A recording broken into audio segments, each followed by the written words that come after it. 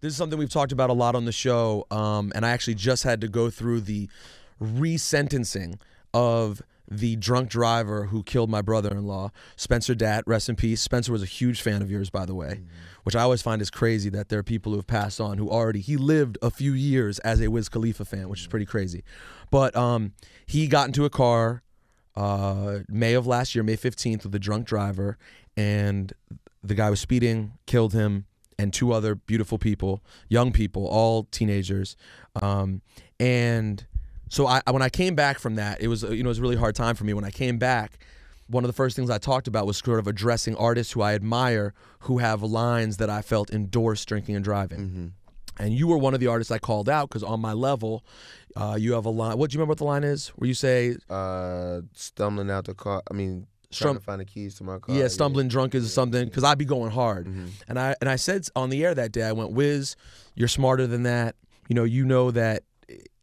I think you know as a as hip hop fans, we are affected by the things we hear artists hear, Mm-hmm. and on a real subtle level, I felt that kids could be like, "Damn, Wiz, you know, he he's he drinks sometimes and he still drives." Mm-hmm. And I wanted to get you a, a chance for you to address that because I know you're a smart, caring dude, and I was curious to how you, with some time to reflect on it, would feel about that line and about drinking and driving in general. Yeah, yeah, definitely. Um, just as far as drinking and driving, you know, I would never endorse that or try to tell anybody that that's the thing to do or that's cool. I think just sometimes with music and, and especially with rappers, we get caught up talking about our own experiences too much, you know what I'm saying?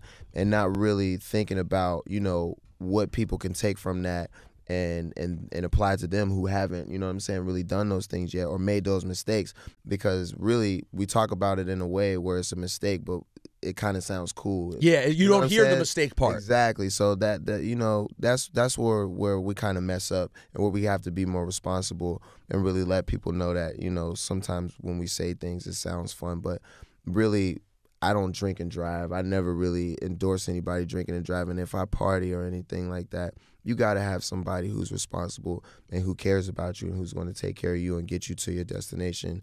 You know what I'm saying? That's most important before you do And I, would, anything. and I would guess that in your life these days, when you have nights when you're high and drunk and hanging out, you always have someone. There's Will. There's someone around who's getting you yeah, to where you need to absolutely. get. Even back in the day, man, when I was partying and when I was going out um, before, when I was under the radar, I had people who who could take care of me and do my thing. Even if I had a couple drinks, I wouldn't even try it. You know what I'm saying? But it's not even worth it. Like, don't be don't be a rock star. Don't have fun like that. That's not it. Yeah, that's de- that's definitely not it. Especially as prom season comes up, and a lot of young kids always think they're invincible and it won't happen. Yeah, yeah, nah. I mean, it happens. Like it, happens, really. and you and you can never even control what what somebody else is going to do either you know what i'm saying so at the end of the day just make sure that you keep the odds in your favor by not doing it at all Cool. I appreciate that, man. Nah, I'll tell you, you. it has been horrible. And realizing, you know, and then looking back, you, when when someone gets in the car with someone who's drunk, they're not thinking about.